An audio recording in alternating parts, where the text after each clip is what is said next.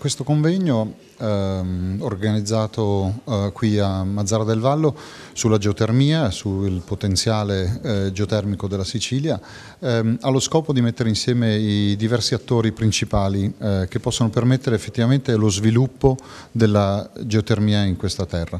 Ehm, quindi chi sono gli attori principali? Beh, sono sicuramente i geologi, sono gli esperti di eh, trivellazione, sono gli esperti di sistemi geotermici, quindi quindi esperti di pompe di calore, ma non solo, sono anche le persone che sanno aiutare eh, gli agricoltori o i privati cittadini che volessero iniziare un'attività una geotermica, un'installazione geotermica, a trovare quelle, eh, quei finanziamenti, quegli aiuti ehm, ehm, e, e, sostegno appunto, finanziari dalla Regione, dallo Stato, eh, per poter appunto accedere a, a delle risorse che permettano eh, lo sviluppo della geotermia. La geotermia è, in realtà è una, è una scienza ehm, che tre, vede diverse discipline essere eh, coinvolte. Eh, la geologia, quindi lo studio della, della Terra, della, del calore che questo nostro pianeta eh, eccezionalmente ci regala, ehm, da, da, appunto, da, questa storia lunghissima del nostro, del nostro pianeta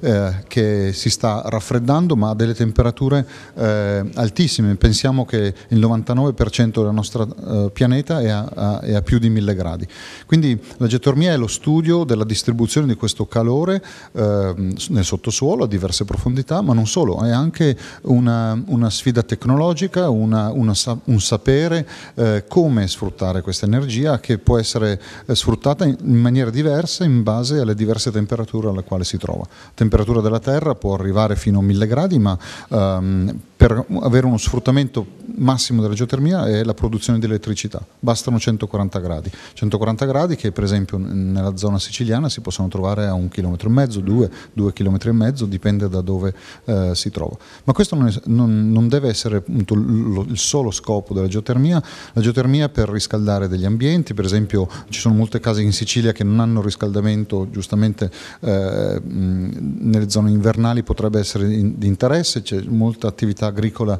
che potrebbe beneficiare della, di, di, riscaldamento e, no, e, ricordiamo che la geotermia permette anche il rinfrescamento degli ambienti. Ecco, questo, quest, per queste eh, attività la, un, una temperatura di 20, 25, 30 gradi eh, nel sottosuolo bastano e, e sono assolutamente eh, eh, facilissime da trovare perché sono le temperature eh, che si trovano comunemente in tutta la superficie della Terra.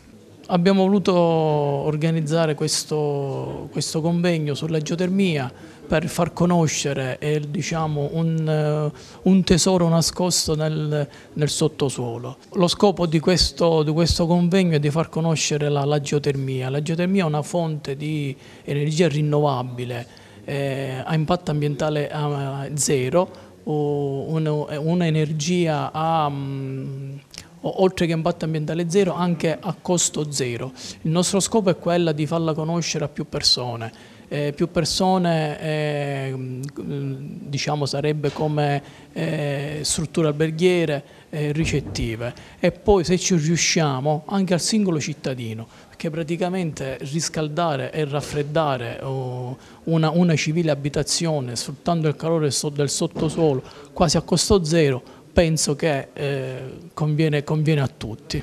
Quando eh, Trivel Sicilia, per mezzo del signor Castelli, ci hanno chiesto di dare il patrocinio a questo convegno, eh, visto l'argomento oh, e il tema da trattare molto interessante, l'abbiamo sposato con, con, entusiasmo. E con entusiasmo è stato anche eh, sposato, vista la presenza cospicua dei colleghi che sono presenti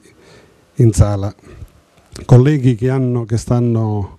uh, vedendo De Viso quando il professor Moscarello, un illustre luminare della geotermia, sta portando a conoscenza di tutti noi.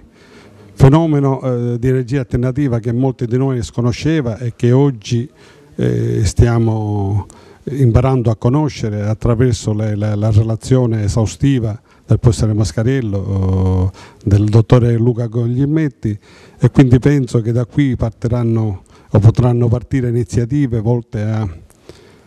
a sfruttare questa energia eh, in agricoltura, per noi che facciamo consulenza per le aziende agricole, sia per i vivai che eh, per le forzature, per il riscaldamento in serra,